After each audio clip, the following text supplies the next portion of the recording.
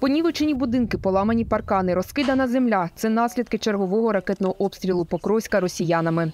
Вечір середи, 21 червня, родина Яни, мабуть, ніколи не забуде.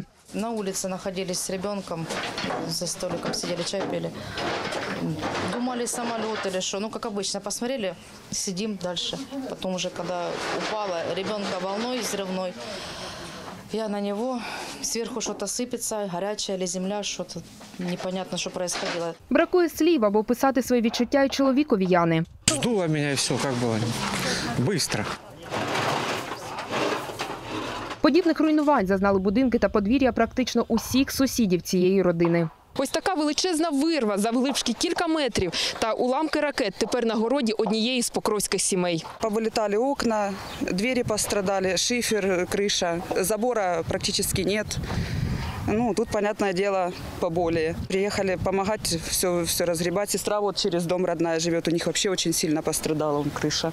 Ремонтируют, делают, разбирают. На сусідній вулиці руйнування трохи менші, але жах, котрий пережили місцеві мешканці, ще довго пам'ятатимуть. У пана Ігоря потрощений будинок, а гаража і автівки взагалі вже немає.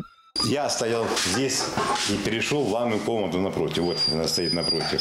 И там уже в ванной комнате, зайдя, сделал шаг, я услышал шипящий звук и хлопок. Меня там подбросило, перевернуло, стенка ударила, я не понял, что это. Когда я вышел в коридор, я видел, у меня нет двери, пыль стоит, телевизор работает, нет окна, я не пойму, что это такое. Сильно. Сильно повыбивало Из окна. девяти окон одно осталось. И только то, что новое на проветривание. Ну, замки поло- поломанные, нет, закрывается.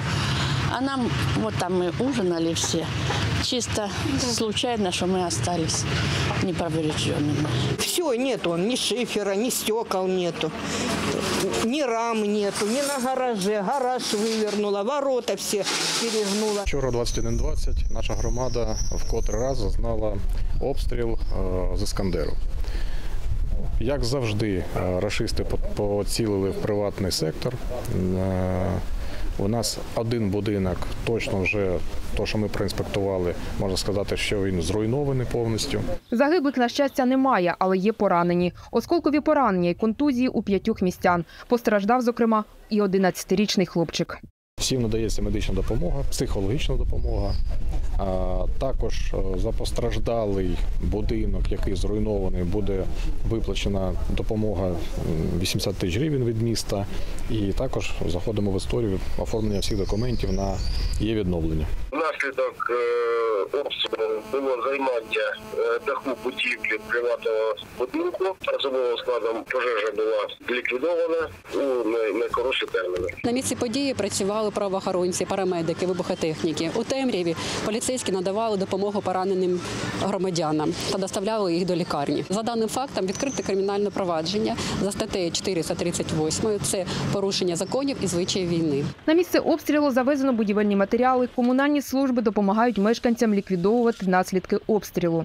До роботи залучено сім бригад. Їхню роботу координує директор новоствореного КП «Господар» Денис Колосов.